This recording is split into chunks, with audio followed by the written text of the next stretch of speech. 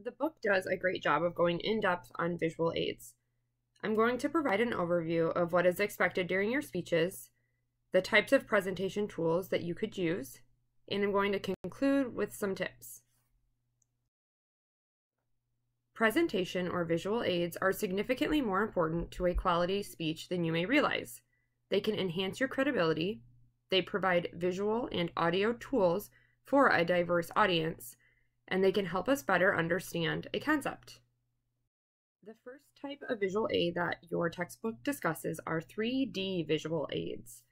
Three-dimensional three-dimensional visual aids include objects, models, or people. So, you know, real tangible things um, that are going to showcase um, a part of your speech you might bring in a person, you might use some sort of object, you know, maybe if it's about sports, you might bring in some object that would be related to that sport, uh, or you're talking about something where a model, I have an airplane model in this, makes sense. Uh, maybe you're talking, I talk about Star Wars all the time, so maybe you're doing a speech on that and you had a Star Wars Lego kit and you brought in that as a model because it showcases a planet you're talking about or a specific type of ship.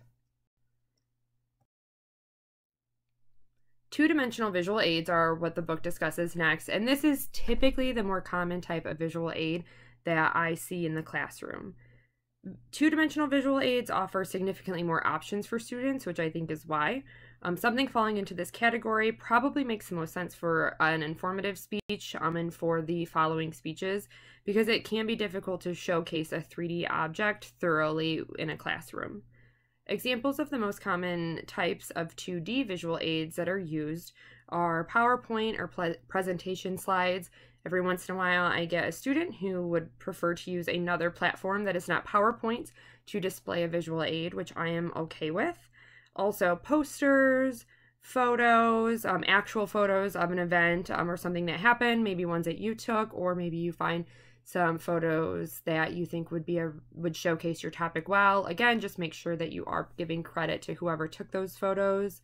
You can also utilize graphs and charts, diagrams, maps, and video and audio. Slapping a PowerPoint or handout together is much more than doing just that. While I don't expect you to hire a designer to create the highest quality visual aid, you should take these design principles into consideration when putting something together. Not only is it important for your grade, but it's also important for your credibility.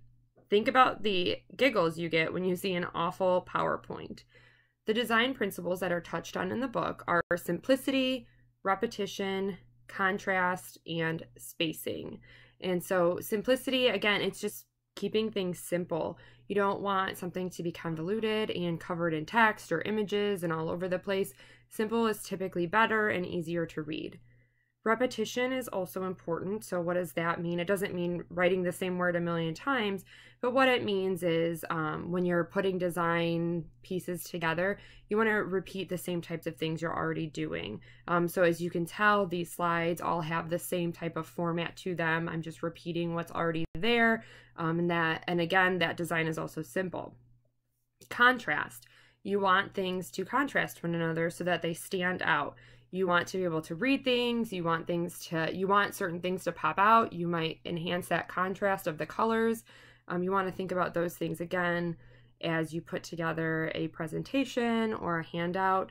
And then spacing everything every single component on your design has a purpose and a reason to be there um, you can tell if somebody doesn't know what they're doing th- with information, if the spacing seems really off on top of all of these other things, um, and if things are just kind of wonky and don't seem like there's a flow and don't seem like they have a place.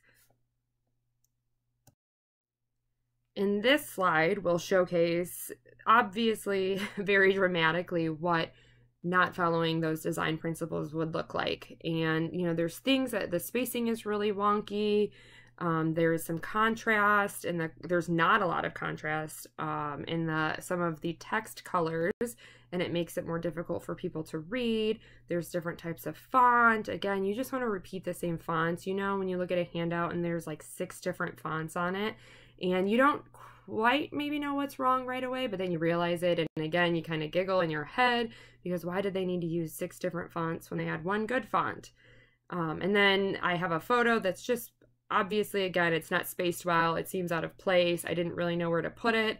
Um, so I just slapped it on there. And while this is a really dramatic example of a bad visual aid, you have all seen these types of things happen. And you don't want to be the person who puts that sort of material together.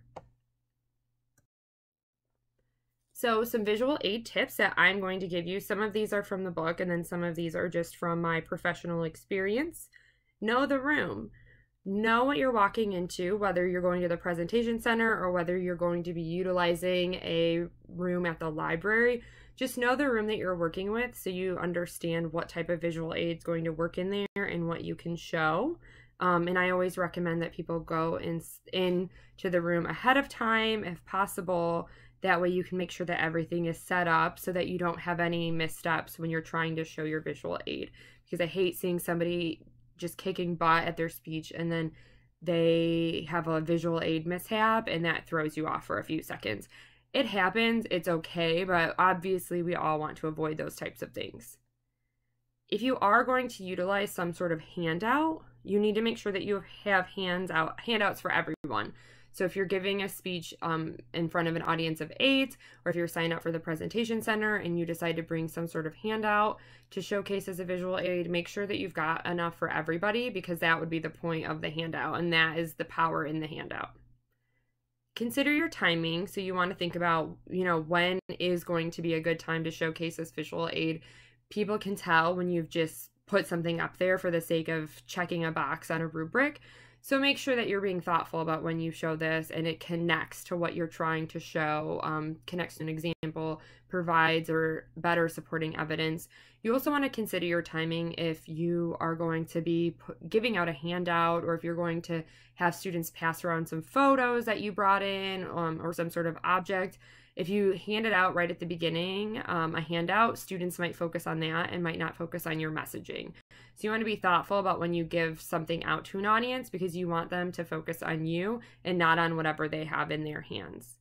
And then going along with that, put it away means if you do decide to bring something in, if you have a poster or an object um, or something like that, and you're going to be showing it um, or a, a presentation slide, make sure that you put it away when it's finished because again, people will try to focus more on the presentation aid, the visual aid, then they will be focused on your message. And you don't want them to have a reason to tune you out because you want them to listen to your message. And this goes moving forward when you're putting together presentations for other classes or for a workplace um, or just a social event. You also want to make sure you transition. So if you're using a visual aid, make sure that you transition into it and then transition out of it so that we know what to expect it always feels really awkward when all of a sudden somebody is like, "Oh, photographs," or "Oh, here's a video." Make sure you, you know, work us up for it so we know what to expect. Audience like to have some sort of lead in and know what they're talking about, and it doesn't have to be anything fancy, but just again providing one of those signpost words that I talk about um, in another lecture, using those words to transition in and out.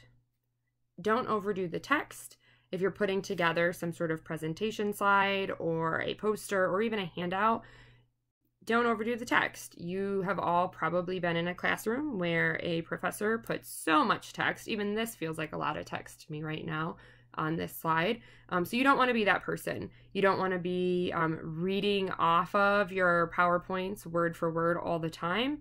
Um, you know, sometimes it happens, sometimes you use a little bit, but though visual aids aren't your note cards, um, so make sure that you're not overdoing it. And I will also notice as well when I'm grading.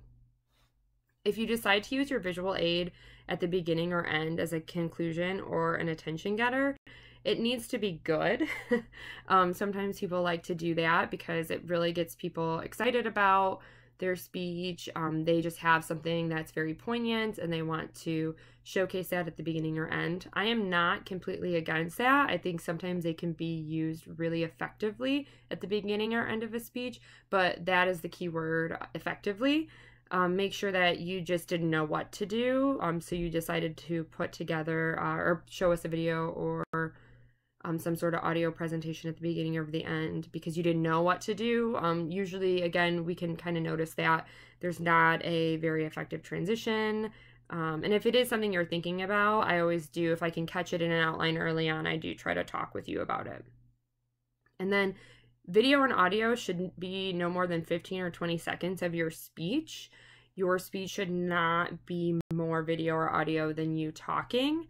And this one can be really hard. This can be really challenging for students um, who want to incorporate video or audio into their speech.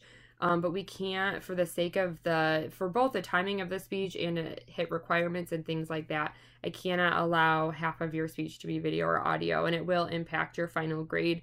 So be very thoughtful about um, how much you're using because I don't want to see a ton of it. This speech is about um, your message, your delivery, not about somebody else's.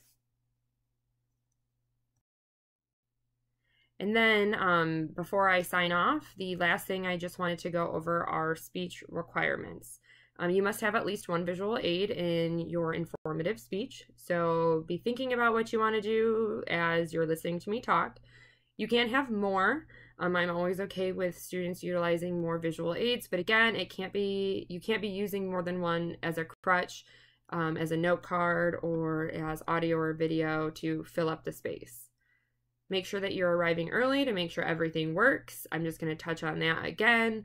Um, if you're going to the presentation center, try to get there a little bit early so things can get loaded up onto a computer if they need to. Um, this is a particularly important thing to remember if you are utilizing technology. Another thing to remember if you're utilizing technology is to save it in a few locations.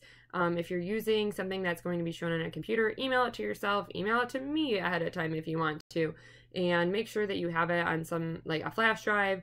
That way, uh, you've got it in a few locations, you know it's going to be available. You do have to submit your visual aid to me with your outline, so uh, be prepared for that you will need to submit it with your um, the week of speeches the week that your outline is due. I'll make sure to remind you of this but this is something that will need to be submit to me. So whether it's a powerpoint or you've created a handout um, i will ask to see those things. Um, if you do use a person or an object i do not need you to submit them to me though. Um, obviously they will need to be in the video and i will need to see them um, but i do not need them to come find me If you have any additional questions about visual aids or if you just want someone to review yours, you know where to find me. Thanks for listening.